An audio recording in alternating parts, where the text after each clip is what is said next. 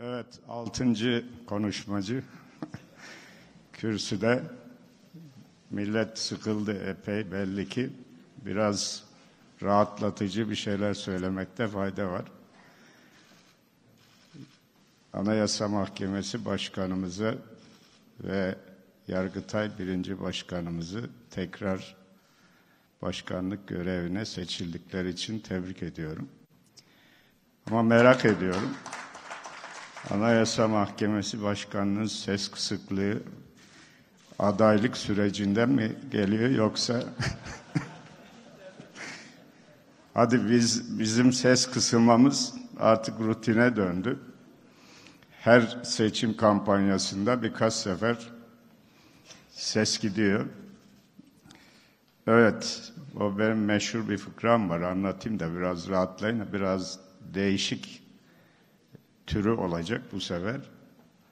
Bu konuşma konuşmalar çok fazla konuşma üzerine biliyorsunuz. Konuşmacılar birer ikişer geliyor.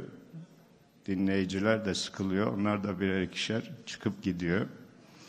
Neyse konuşmacının biri gelip kürsüye çıktığında bakıyor ki bir kişi kalmış karşısında. Hiç istifini bozmadan konuşmasında güzelce yapıyor, gidiyor. Teşekkür ederim kardeşim diyor. Beni niye teşekkür ediyorsunuz efendim demiş. Herkes gitti sen sonuna kadar beni dinledin diyormuş. O da demiş efendim niye teşekkür ediyorsunuz? Ben sizin şoförünüzüm.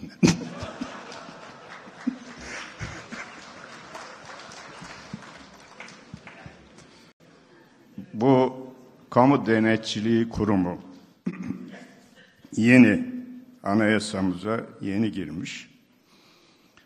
Esasında mahkemelerin gitmeden, vatandaşın yormadan işini çözen kurumlardan bir tanesi.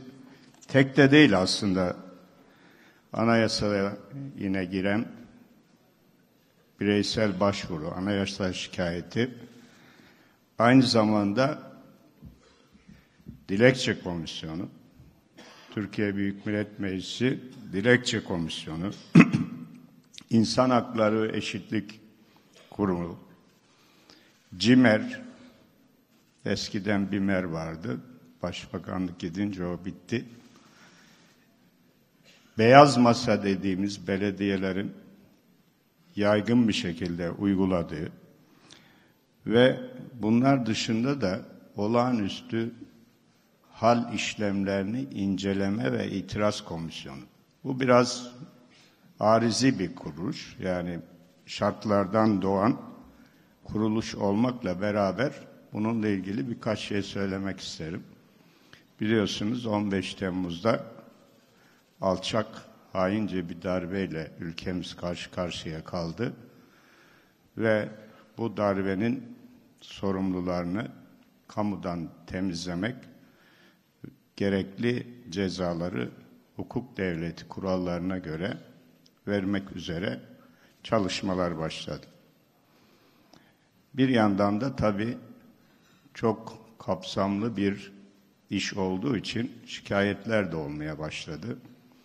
Hatta Avrupa İnsan Hakları Mahkemesi bazı dost kuruluşlar, ülkeler seslerini yükselttiler. Her ne kadar onların 15 Temmuz gecesi sesi çıkmadıysa da sonradan insan hakları ihlali, yanlış uygulamalar gibi e, konularda, hukuk devleti ilkeleri konularında çokça konuşmaya başladılar. O zaman biz e, başbakandım, oturduk bu meseleyi değerlendirdik Cumhurbaşkanımıza. Anayasa Mahkemesi ile bir çalışma yaptık bu konuda ülkemize yöneltilen haksız eleştirilerin nasıl önüne geçeriz diye bir yasal düzenleme yaptık. Bu yasal düzenlemenin esası şu, olağanüstü halle başlayan terör örgütüyle mücadele kapsamında yapılan işlemler memuriyetten çıkarma, açığa alma, veya e, darbeye iştirak etme, darbe e, FETÖ örgütüne üyelik gibi bölücü örgüte üyelik gibi veya onlara destek gibi birçok konuda itham edilenlerin yargı yoluna gitme imkanları yoktu. Çünkü olağanüstü hal uygulaması vardı. Hak kaybını önlemek için bir olağanüstü hal işlemlerini inceleme ve itiraz komisyonu diye bir düzenleme yapıldı ve buna da zannediyorum 130 bin civarında müracaat oldu ve burada tek tek bütün dosyalar inceleniyor. Eğer herhangi bir yanlış idarenin yanlış işlemi varsa o işlem düzeltiliyor ve geri gönderiliyor idareye ve idarede göreve iade ediyor. Değilse hak arama yolu başlamış oluyor. Yani e, olağanüstü halin getirdiği o kısıtlama kalkmış oluyor, yargı yoluna başvurabiliyor ve bütün yargı silsilelerini takip etme hakkını elde ediyor. Bu şekilde bu düzenlemeyi yapmakla beraber bizim e, uluslararası e, camiada hukuk devleti algısını tartışmaya açan birçok e, konuyu da ortadan kaldırmış olduk ve böylece e, hatta bu şekilde Avrupa İnsan Hakları Mahkemesi'ne gidenler aynen işte sizde böyle bir hukuki mekanizma var. Orası bu işleri yapıyor. Gidin derdinizi oraya anlatın şeklinde bir cevapla karşılaştılar. Peki bu işler yani bu kurumlara niye ihtiyaç var?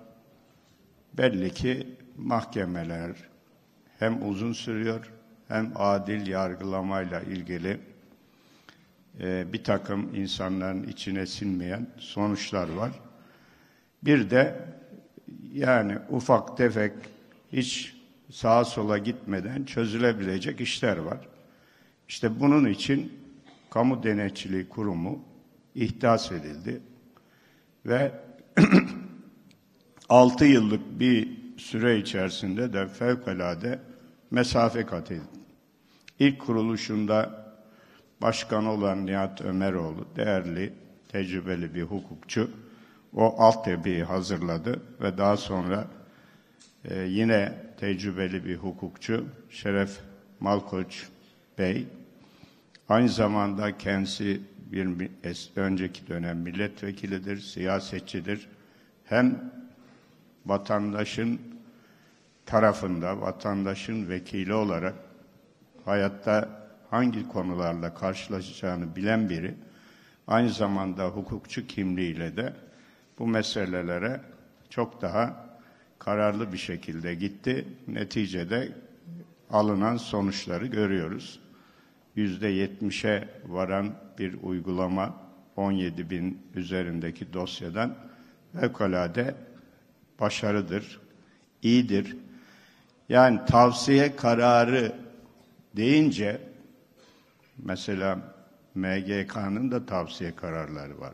28 Şubat'ta onların sonuçlarını nasıl olduğunu biliyorsunuz. Tavsiye kararı demek. Yani ben tavsiye ediyorum ama sen bunu yapacaksın demek. İdareye verilen mesaj odur. Onun için vatandaşlarımıza daha çok kamu denetçiliği kurumuna veya bireysel başvuruya veya CİMER'e veya efendim diğer kuru, benzer kuruluşlara, dilekçe komisyonuna müracaat etmekten çekinmesinler. Bu kuruluşlar vatandaşlarımızın hakkını, hukukunu en iyi şekilde onlar adına takip edecek. Bir anlamda Şeref Bey'in başında olduğu kurum milletin, vatandaşın dert babasıdır. Hani dert babası diye bir tanım vardır bizim dilimizde. herhangi bir sorunu olan ben senin dert baban mıyım kardeşim git diye göndeririz. Dert babası da Şeref Malkoç. Vatandaşlara buradan duyurulur.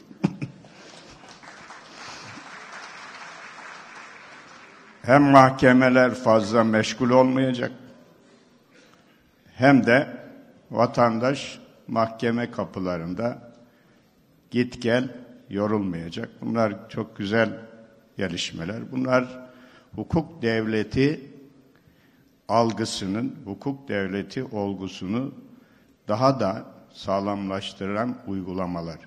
Esasında işin başlangıcı Osmanlı'ya gidiyor. O dönemde biliyorsunuz Kadıül Kudat kadıların kadısı kurumu vardı. O kurum bu işlere bakıyordu. Daha sonra önce İsveç, sonra Batı ülkelerinde bu hukuk sistemine dahil edildi ve ombudsmanlık adı kondu. Bu sebeple biz kendimize ait bir kurumu yeniden keşfetmiş olduk. Yüzyıllarca sonra yitiğimizi bulduk diyebiliriz. Kurumlarda insanlar gibi ilk kuruluş yılları gençlik yılları olarak, toyluk yılları olarak kabul edilir. Kurum kültürünün oluşması, kurum kimliğinin oturması zaman istiyor ama kamu denetçiliği kurumu bu konuda çok hızlı bir mesafe kat etti ve bugün eriştiği sonuç hakikaten e, gurur verici ülkemiz adına, milletimiz adına. Değerli konuklar, bir ülkede her şeyin başı hukuktur. Hukukun üstünlüğü, hukuk devleti algısının yara aldığı, zarar gördüğü ülkelerde hiçbir alanda gelişme kaydetmek mümkün değil. Gerek yabancı yatırımcının daha fazla gelmesi, gerek içerideki vatandaşın devlete olan güveninin daha da artması için hukuk devleti istisnasız ve eksiksiz uygulanmalıdır. Hukuk devletinin konusundaki eleştirilerin kaynağını sadece idarede aramak yanlıştır. İdarenin uygulamalarında aramak tamamen doğru değildir.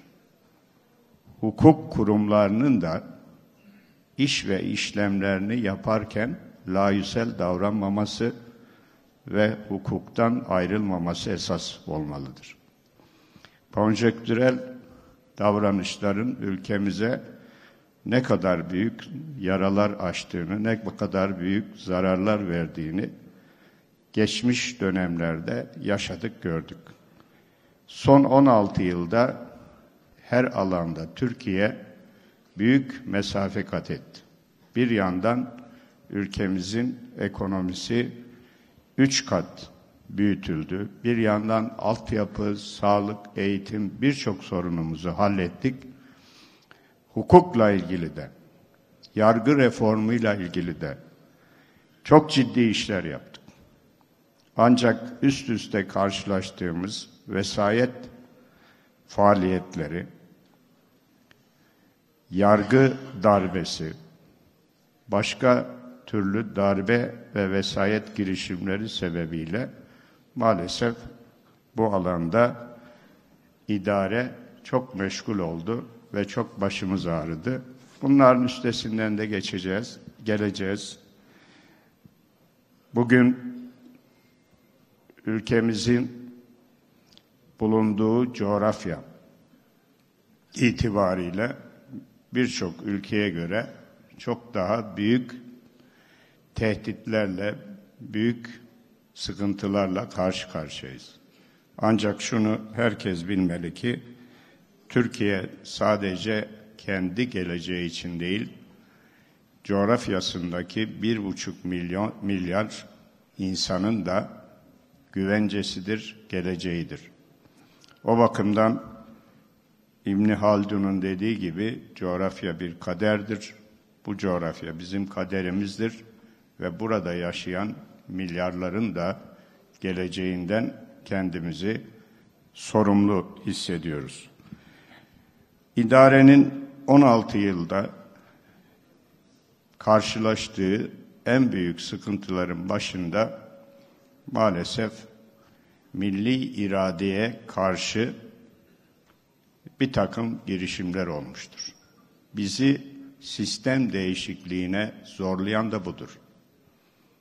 16 yıllık iktidar döneminde şeytan taşlamaktan iş yapmaya neredeyse vakit bulamadık. Bulduğumuz vakitlerde de Türkiye'ye neler yaptığımız ortadadır. Türkiye yollar, havalanları, sağlık sistemleri, internet, erişim teknolojileri bakımından dünyanın 39. ülkesinden 9. ülkesi ne yükseldi. Amacımız zaten neydi? Türkiye'yi ilk 10 ülke arasına sokmak. Sağlıkta ve altyapıda bunu başardık. Başka alanlarda da mutlaka başaracağız. Bütün bunları bir yandan insan hak ve özgürlüklerini korumak, daha da geliştirmek, bir yandan ülkemizi tehdit eden terör örgütlerine karşı amansız mücadeleyi yaparak başardık. Tabi parlamenter sisteminden başkanlık sisteme ne geçiş meselesi de bu yaşadığımız zorluklardan dolayıdır. Bunun örneklerini biliyoruz. 60 darbesinden bu tarafa neredeyse her 10 yılda bir milli iradeye vesayet odakları dadandı ve bazılarında birçoğunda başarılı oldular ama 15 Temmuz'da da milletin yargı vatansever yargı mensuplarının güvenlik güçlerinin gayretleriyle Sayın Cumhurbaşkanımızın dik duruşuyla ve hükümetimizin milli iradeden başka hiçbir irade bu ülkede esir alamaz, iktidarı ele geçiremez duruşuyla o gece büyük bir destan yazdık. Bunu birlikte başardık. Millet olarak başardık. Çünkü inandık, ülkeye inandık, ülkenin liderliğine inandık, ülkenin geleceğine inandık. Ve o gün herkes rengi, fikri, zikri, etnik yapısı, siyasi görüşü ne olursa olsun herkes o gün meydanlardaydı. Asosyal denen memleket meseleleriyle alakaları yok denen gençler o gün şehadet için meydanlara koştular. O gün meydanlarda, o gece meydanlarda gelenlerin yarısı kadınlardı. Bu manzarayı yaşayan biri olarak bu milletin bir evladı olmaktan büyük bir bahtiyarlık duydum. Böyle bir milletimiz olduğu için Rabbime şükrettim. Yeni sistemle beraber artık yapmamız gereken şey vatandaşı yoran işleri azaltmak ve hukuk devleti algısını daha da güçlendirmek. Diğer yandan da tabi bu kamu denetçiliği kurumu gibi bireysel başvuru imkanı gibi birçok konunun daha etkin olarak işlemesi lazım. Ama kamu adına güç kullananlar, yetki kullananların mutlaka hesap verir olması lazım. Layüsellik olduğu müddetçe bir takım yanlış kararlar, yanlış uygulamalar mutlaka olacaktır ve bunun bedelini de vatandaş ödüyor, ülke ödüyor. Buna müsaade etmememiz gerekir. Türkiye bu yönde epey mesafe aldı. Bilinçlenme de çok arttı. Çünkü bilgi, iletişim teknolojileri gelişti.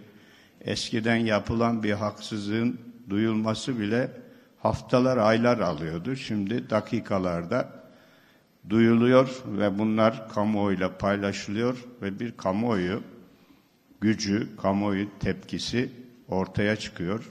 Bu da idare tarafında bulunanların daha dikkatli, daha sorumlu davranmasını sağlamış oluyor. Türkiye Büyük Millet Meclisi milli iradenin tecelli ettiği çatıdır.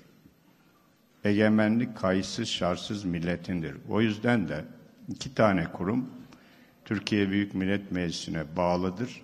Üyeleri de Türkiye Büyük Millet Meclisi'nden seçilir. Bunlardan biri Kamu Denetçiliği Kurumu, bir tanesi de Sayıştay'dır. Dolayısıyla millet bu yönüyle de bu kurumların milletin güvencesinde olduğu, milletin egemenliğini temsil edilen tek kuruluş Türkiye Büyük Millet Meclisi'nin e, karşı sorumlu olmasının anlamı da bu kurumlara bir ayrı bir güç vermektedir. Bunu da e, bir not olarak ifade etmek isterim. Değerli katılımcılar, hedef ülkemizi ve dünyayı daha huzurlu bir şekilde yaşanabilir hale getirmektir. Aldığımız kararlar, yaptığımız düzenlemelerin amacı bu olmalıdır. Yıllardan beri sağda solda yazılar görürüz. Güçlü devlet, güçlü millet. Ben bunu tersine çevirilmesi gerektiğini düşünüyorum. Güçlü millet, güçlü devlet. Millet güçlü olması lazım. Devletin onun hizmetinde olması lazım. Bu olgu vesayet ihtimalleri tamamen ortadan kalktığı oranda gerçeğe dönüşmüş oluyor. Bunu da görüyoruz. Milletin, devletin görünürlüğü işini iyi yapacak ama görünürlüğü azalacak. Gelişmenin şartı da bu. Ortada devleti ne kadar az görüyorsak o kadar gelişen bir ülkeyiz demektir. Ve inşallah Türkiye bu yolda kararlı adımlarla devam etmektedir. Alınan kararlar, yapılan düzenlemelerin amacı milletine e, milletine adim bir devlet oluşturmaktır. Çünkü insanlarımızın hizmetlerin en iyisine layık olduğunu e, düşünüyoruz ve bunu savunuyoruz. İnsanın doğuştan sahip olduğu hakları kullanma konusunda kimsenin iznine de ihtiyacı yok. Sonradan kazandığı hakları kullanma konusunda da saygı göstermek gerekiyor ve bunun yolunu açmak gerekiyor. Çalışma, adil ve eşit ücret hakkı, her insanın şeref ve haysiyetine yaraşır yaşama hakkı, sağlık eğitim hizmetlerinden yararlanma hakkı, temiz bir çevrede yaşama hakkı ve bu hakları sayısını oldukça çoğaltabiliriz. Yani bizim amacımız hayatı, vatandaşın hayatını kolaylaştırmak olmalıdır. Bizim amacımız idareciler olarak vatandaşın yaşam kalitesini arttırmak olmalıdır. Bizim amacımız insanı yüceltmek olmalıdır. İnsanı yücelt, devlet yücelsin ilkesi Osmanlı'yı 619 sene bir cihan devleti yapan ilkedir ve üç kıtada, yedi denizde kimsenin diline, dinine, yaşayışına müdahale etmeden, sömürgeci anlayış içerisinde olmadan ve dünyaya örnek bir yönetim ortaya koymuş bir devlettir. Bugün Kuzey Kıbrıs Türk Cumhuriyeti'nin yaptığı mücadele de budur. uluslar arasında e, izolasyonların kaldırılması ve Kuzey Kıbrıs'ta yaşayan kardeşlerimizin bütün haklardan yararlanması, adanın adanın e, ze, zenginliklerinden, imkanlarından her iki toplumun eşit şekilde istifade etmesi ve bunları sağlayacak bir e, barışın, bir yönetişim şeklinin tesis edilmesi. Verilen mücadele budur. Bu mücadeleyi de Türkiye olarak başından beri hep destekledik, desteklemeye de devam edeceğiz. Sayın Kuzey Kıbrıs Türk Cumhuriyeti Başbakanı'na özellikle bu e, günkü önemli toplantıya iştirakinden dolayı teşekkür ediyorum. Ayrıca önceki dönem meclis başkanlarımıza milli egemenliğin, milli iradenin tecelli ettiği bu çatı altında güzel işlere, güzel hizmetlere imza attıkları için de teşekkür ediyorum.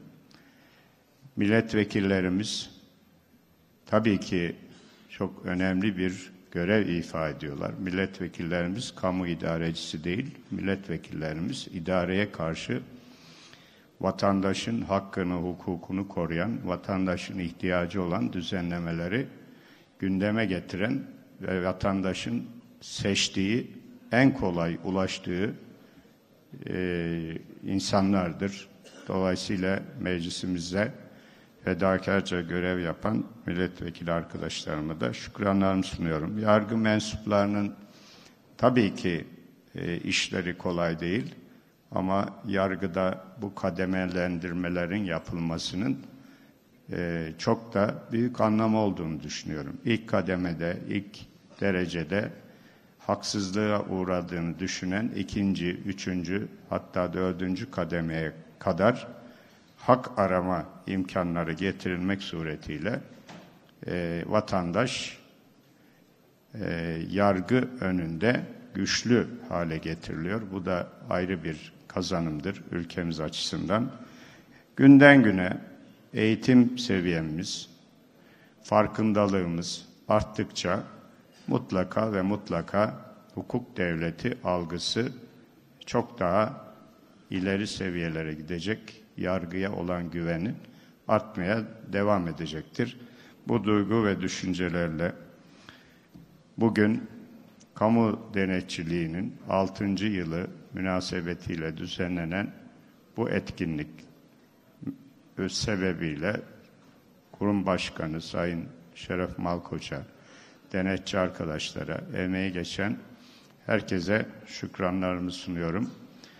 Ve bütün katılımcılar, konuşmacılar burada çok güzel görüşler ortaya koydular, temenniler ortaya koydular. Bundan dolayı da katılımcıların tamamına teşekkür ediyor. Hepinize saygılar sunuyorum.